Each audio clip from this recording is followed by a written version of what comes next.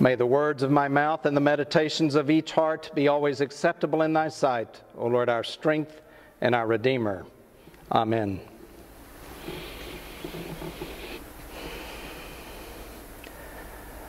By now, you know that we lost.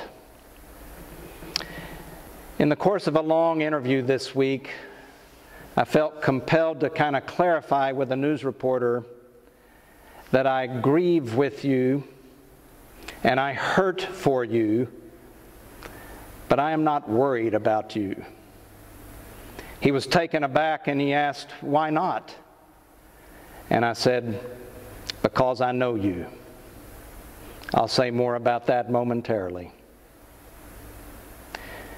In our tradition, along with the Roman Catholics and most mainline traditions, we have assigned readings for every Sunday of the church year. The lectionary is what it's called, and it can be found in the back of your Book of Common Prayer.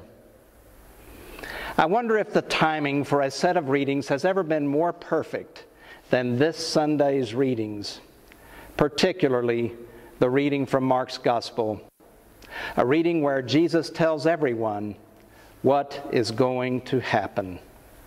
A reading where Jesus tells, tells us that everyone, including Jesus, loses something.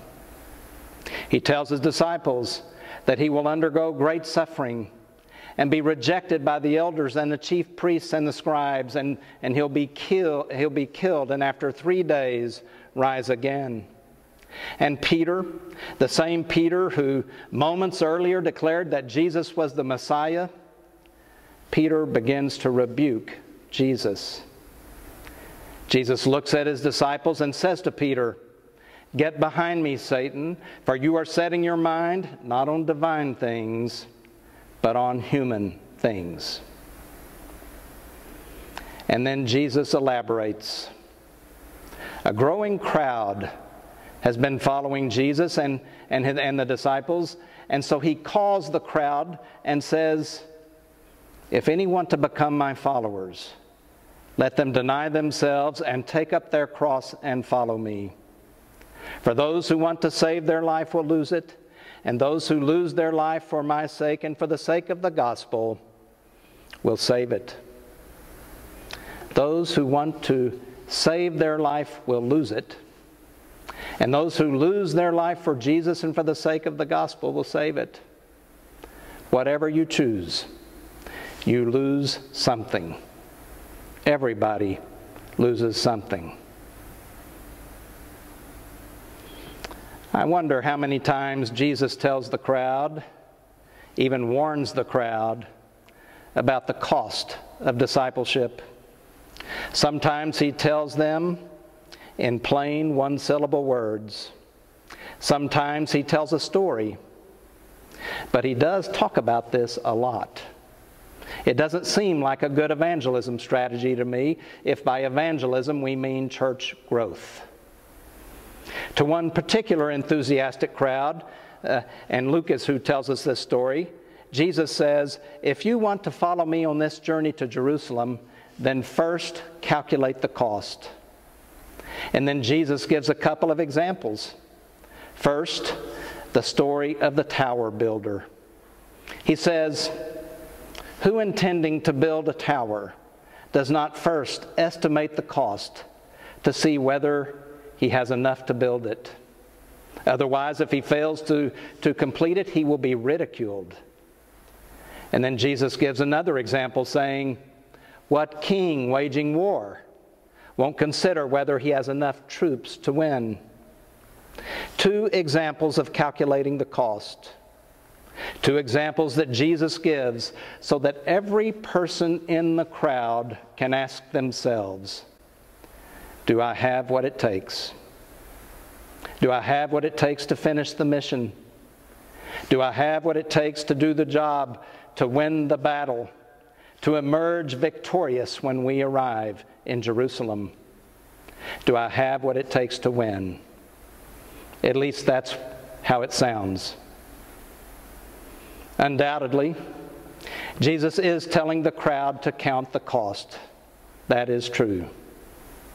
But I wonder if the challenging question is really do I have what it takes to win? I wonder if it's another question. You probably know. For it seems to me that the examples Jesus gives of calculating the cost, the two examples, the tower builder and the king waging war, are not necessarily examples to follow. Maybe more so, they are simply observations of how we typically behave. For example, we do calculate ahead of time whether we can finish a job because we don't want to be ridiculed if we fail. Jesus makes that observation. We calculate ahead of time because we don't want to be embarrassed, don't want to be seen as someone without the fortitude to finish the job, don't want to be seen as someone without the character to follow through. We don't want to fail or lose. We calculate the cost. Jesus says, because we don't want to be ridiculed or be seen as losers or failures or have our character questioned. So I wonder maybe Jesus is not so much challenging the crowd and us to ask ourselves, do I have what it takes to win? But rather, do I have what it takes to lose? Maybe he's saying to potential disciples, Are you prepared to fail? Are you prepared to fall short, unable to finish the mission? Are you prepared to be laughed at and ridiculed? Are you prepared to lose, to lose everything, even your life? Do you have what it takes to lose? The vulnerability, the humility, the faith to lose.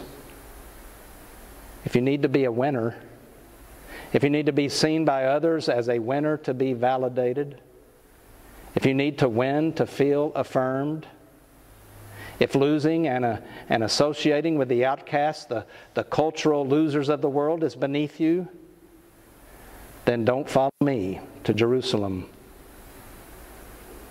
Maybe that's the challenging question. Do I have what it takes to lose? For we will lose in the eyes of the world, on Good Friday, Jesus lost.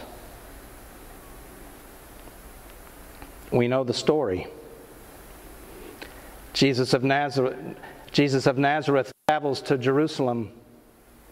Peter tries to tempt him before he even really gets started on the road. Jesus is a Messiah. He's supposed to act like one. He's supposed to succeed, to win, to be victorious and triumphant. And Jesus says, Get behind me, Satan. Thank heavens, Jesus has what it takes to lose the vulnerability, the humility, the faith to lose.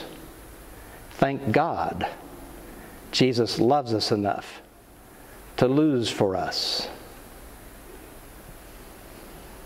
Losing for someone. That's love. And in this moment in history, the world does have a question for the church. A church called more to humility and vulnerability and service than to pride and power and triumph. What people want to know, especially those who are powerless and hopeless or oppressed or on the margins, what they want to know is this Will we love them? Will we love them enough to lose for them? Will we love them enough to lose with them?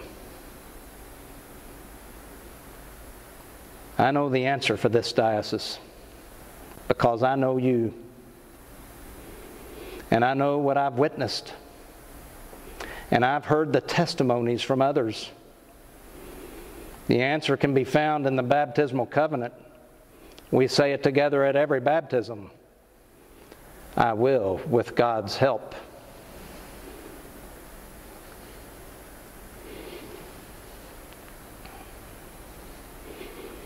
For this season of Lent,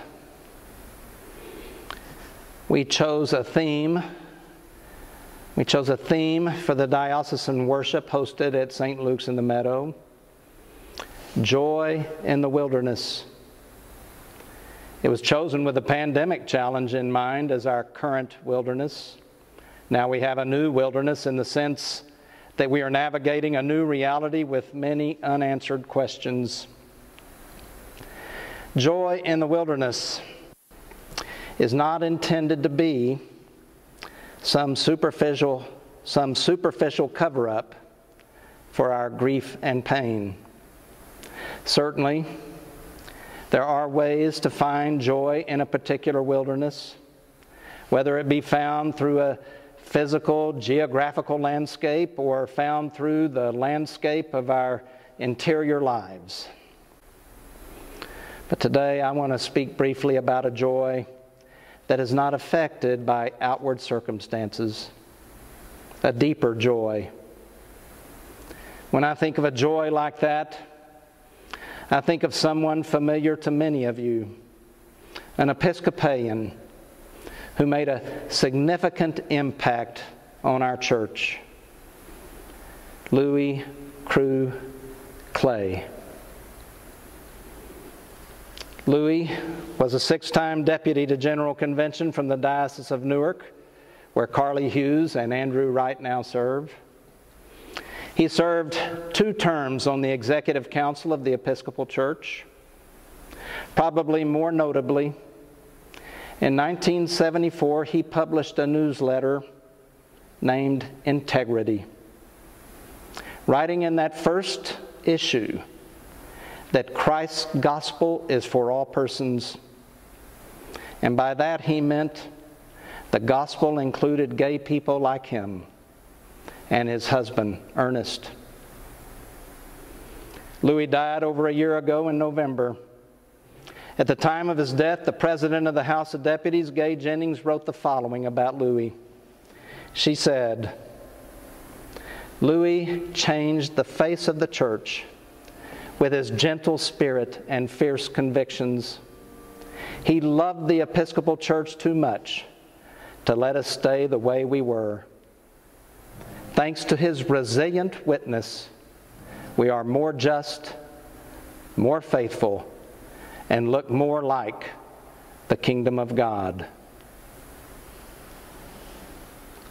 Louie was not an easy road. There were victories and losses along the way as he strived to open the church's eyes to both his humanity and to the gospel. But what I will always remember and never forget was how Louie signed his name. This person who faced heartbreak and suffered and for a long time was rejected by the elders and the chief priests and the scribes and lost more times than we can count. Signed his mail, his email, his correspondence in an unforgettable way. He signed everything Joy anyway. Louie. Joy anyway. That's joy. A few years ago, I took my time reading through a book about a conversation between Desmond Tutu and the Dalai Lama. It's entitled The Book of Joy. And it gives the reader a perspective on joy from two people who have endured much suffering in this life. The author of this book, the, the recorder and witness and participant in this conversation between Tutu and the Dalai Lama, he writes the following. He says, Some might wonder what our own joy has to do with countering injustice and inequality and the suffering of the world. In short, the more we heal our own pain, the more we can turn to the pain of others. But in a surprising way, what the Archbishop and the Dalai Lama were saying is that the way we heal our own pain is actually by turning to the pain of others. It is a virtuous cycle. The more we turn toward others, the more joy we experience. And the more joy we experience, the more joy we can bring to others. The goal is not just to create joy for ourselves, but as the Archbishop poetically phrased it, to be a reservoir of joy, an oasis of peace, a pool of serenity that can ripple out to all those around you.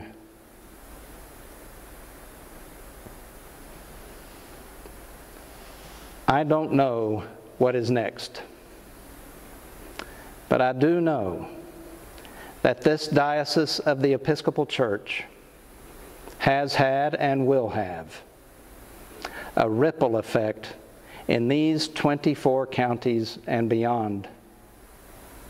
I know that you have had and you will have the vulnerability, the humility, and the faith to lose for the sake of the gospel. And I know that you have had and you will have the faith to proclaim and embody these words joy anyway. Joy anyway in the name of the Holy Trinity, one God in whom we live and move and have our being.